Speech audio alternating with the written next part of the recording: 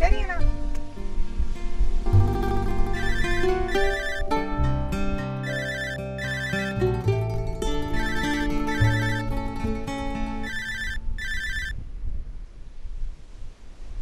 Hello. என்ன முருகா?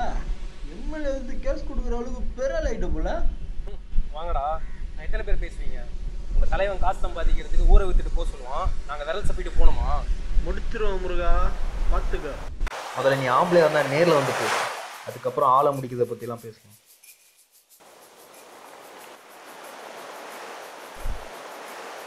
என்னாச்சு முருகா? Coma இருக்குமே இதுக்கு? ஃபோனில் யாரு? எம்எல்ஏ மேலே கொடுத்த கேஸை வாபஸ் வாங்கணுமா? வழக்கம் போல் மிரட்டுறானுங்க. இந்த வாட்டி கொஞ்சம் அதிகமாகவே இருக்குது சங்கர் இதை பற்றி பேசணும்னு சொன்னார். சிவத்தம் தான் கொஞ்சம் வாப்பலாம் இதை முதலே சொல்ல மாட்டியா? சீக்கிரம் வா. சங்கர்ண்ணா எப்படியா பேசி முட்டினா தண்ணிட்டு காசு வாங்கியாச்சு. வேற வழி இல்லை. அவசரப்படாது செந்தில. பேசி பார்க்கலாம். எத்தனை தடவை நான் பேசுறது? அவனும் கேட்க மாட்டான் சொல்லிட்டேன். பார்த்துவான்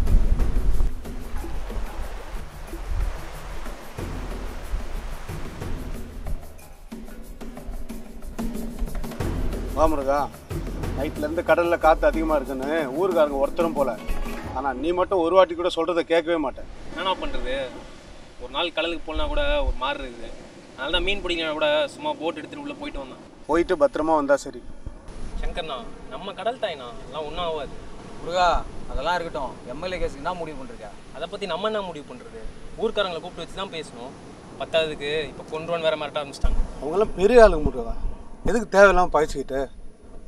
ஏதாவது பண்ணிட்டாங்கன்னா? சிறுக்காக ஊரை விட்டுற முடியுமா? அதுவும் நீ என் கூட இருக்கும்போது எனக்கு என்ன பயம்? இல்லை முருகா. அது ரொம்ப பெரிய ப்ராஜெக்ட்னு சொல்கிறாங்க இரநூறு கோடி ஒருத்தாமே இந்தியாலே பெரிய ஹோட்டல் ரெசார்ட் வருதாண்டா. நம்ம ஊரில் வந்தால் நம்மளுக்கு தானே பெருமை. நம்ம ஊருக்கு வந்தால் பெருமைனா நம்ம ஊரே சாப்பிடல வருது. ஏன்? அவங்களுக்கு வேற இடமே கிடைக்கலையோ? நம்ம வாழ்வாதாரத்தை அழிச்சிட்டு அதில் தான் இவங்க கூத்தடிக்க ரெசார்ட் கட்டணுமா? என்னடா புரிஞ்சிக்காம பேசுகிற இந்த வேலையை மட்டும் முடிச்சு குத்துன்னு வச்சுக்கோ. ஆளுக்கு ஒரு கோடி தரேன்னு சொல்லிருக்காரு எம்எல்ஏ. உன் கேஸ்னால இந்த ப்ராஜெக்ட்லாம் பெண்டிங்கில் இருக்கான். காசை வாங்கிட்டு கேஸை வாபஸ் வாங்கியா அப்பதான் ஊர் மயிருன்ட்டு. என்ன சொன்ன ஊரு மயிரா?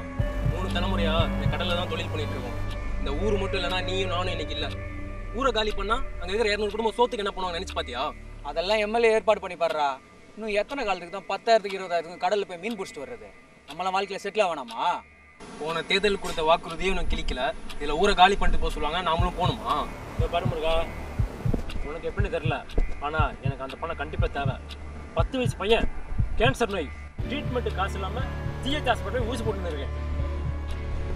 புரிஞ்சுப்பேன்னு நினைக்கிறேன். அது மட்டுமா? நம்ம அண்ணன் செல்வி எவ்வளோ பாசமா வளர்த்தாரு. அந்த விஷம் குடிச்சு உயிர் போறான்னப்போ தூக்கிட்டு போய் காப்பாத்தினியா. மறந்துட்டியா முருகா? பன்னெண்டாவதுல ஆயிரத்தி நூற்றி அறுபது மார்க்கு டாக்டர் சீட்டுக்கு இந்த ஊரே இயங்குச்சு. நீட்டு மயிர்னு ஃபெயில் ஆக்கிட்டானுங்க. பணம் இருந்தா அவளும் டாக்டர் ஆகலாம்ல? மீனவ குடும்பத்துலேருந்து ஒரு டாக்டர் எப்படி இருக்கும்? என் குடும்ப பிரச்சனை என்னோட போட்டும்பா. ஆனால் அந்த எம்எல்ஏ நம்ம ஊருக்காரங்க வேலைக்கு ஏற்பாடு பண்ணுறேன்னு சொல்லியிருக்காங்க இந்த கடலை நம்பி நம்ம போராடுறது போதும்டா முருகா. எல்லாம் முடிவு பண்ணிட்டு என்னை கூப்பிட்டு பேசுறீங்கல்ல? உன் புள்ள வாழ்க்கை எனக்கு முக்கியம்தான். என் அண்ணன் பொண்ணோட வாழ்க்கையும் எனக்கு முக்கியம்தான். அதே மாதிரி தான் ஊரில் இருக்கிற இரநூறு குடும்பத்து பிள்ளைங்க வாழ்க்கையும் எனக்கு முக்கியம். உங்க மூணு பேர் சுயநலத்துக்காக ஊரை விற்க முடியாது. என்னடா முருகா எப்படி பேசுற? என்னண்ணா எனக்கு ரெண்டு பேர் தான் புரியாம பேசுறாங்கண்ணா. உனக்கு என்னண்ணா மீனவ தொழில் தான் நம்ம அடையாளம். அந்த அடையாளத்தை விட சொல்றியா? என்னால முடியாது. எனக்கு பணம் தான் முக்கியம். கேஸ் வாபஸ் வாங்க முடியும் முடியாதா? முடியாது. என்ன பண்ணுவ? முடியாதுண்ணா? அப்போ இதுக்கு என்ன தீர்வு? இனிமே எதா இருந்தாலும் பஞ்சாயத்தில் பேசிக்கலாம்.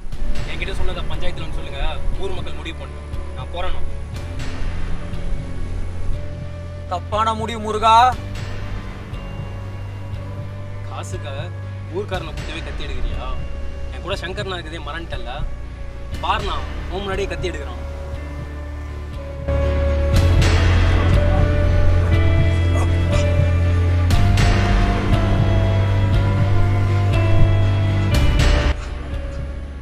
மன்னிச்சிரு முருகா. வேற வழி தெரியல. என்னண்ணா